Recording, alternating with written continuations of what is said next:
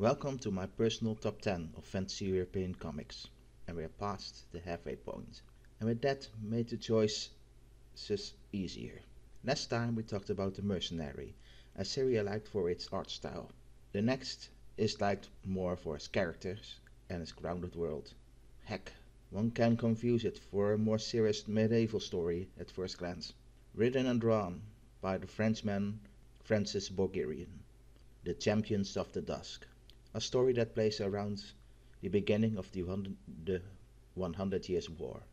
There's a legend that at the beginning of time there were two, uh, three forces black, white, and red. But the black, that was dead, destroyed red and white, that represented life. But in the real world, they represent the grand bastard daughters of Hugo XIII and were adored by its former old war partner. He honored his shield with the three colors of their hair. The eldest, Nerel, got the upper part, black. Carmina got red, and the youngest, Blanche, got white. Or in more heraldic terms, Nerel got sable, Carmine gules, gules, oh, how you pronounce that, and Blanche, Blanche got Argent. But when Nerel got in an argument with her uncle, he left, remo removing the sable from his shield. Another knight came into the, their lives, a simple vessel with no royal blood, but had clear talent as he won tournament after tournament. Because of his low status, he was hated by the court. But he piqued the interest of the three sisters, Blanche in particular. It was she that took care of him in secret after the knight got st stuck on the spores on, on the saddle and was dragged hours to the field. Well, and well, the court laughed at him. He broke many bones and his face was disfigured. In the end, he became a mercenary leader. He had no problem to fight on the side against the French, especially if it allowed him to besiege the castles of the nobles that once spurned him. A year ago, he took the castle of Jean Courtois. The knight had planned to share the bed with, with his wife, who was Blanche, but his second and his men had killed her, piked her.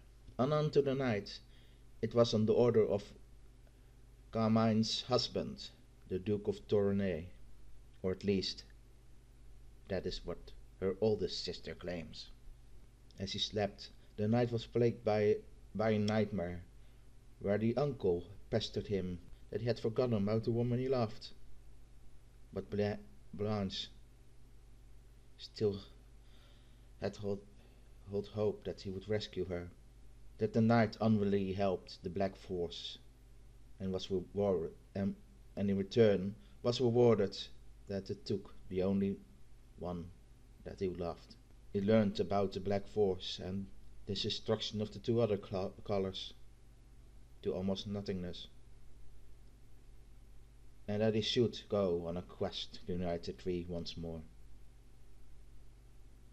When he woke up eight days later, talk about a beauty sleep, well, he needed it. His men were gone, and the body of the ones he once loved was spread of decay, and the blood had washed away from, by the rain. Underneath her were two horses, a big stallion that, that he would later name Big Horse, and a mare named Ludi, and with them a shield that sported the two colors, Gules and Argent.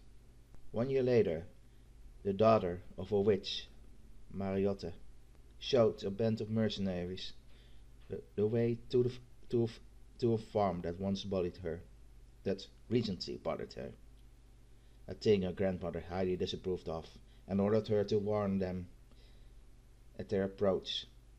If she failed, she should never return to her, as she would be cursed. And cursed she was, as the inhabitants were, were raped and murdered, only for the last person that had bullied her to he was strung up by a noose. The knight stumbled upon the aftermatch and rescued the young man from his own stupidity. As the young man, who was named Anicet, was a coward, he named him only a serf, and the two later captured Mar Mariotte after she tries to steal the rabbits that they tried to that they tried to pouch.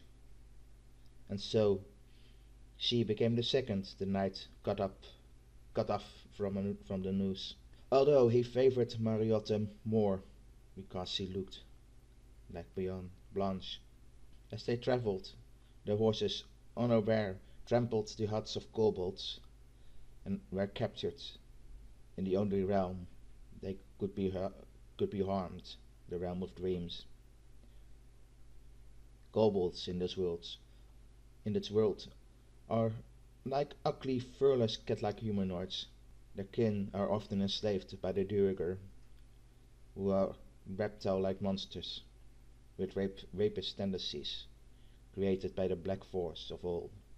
As they battle the creatures, they are well aided by a Blue Duergar, the last of his kind, that were wiped that were wiped out by their masters for being too free thinking. The first two books had its fantasy elements at least in the dream world, and the knight often laments. He should have become a bard, as he clearly had enough imagination. The last book, or books, as it's almost twice, uh, twice the length, start, slightly tones down on the fantasy.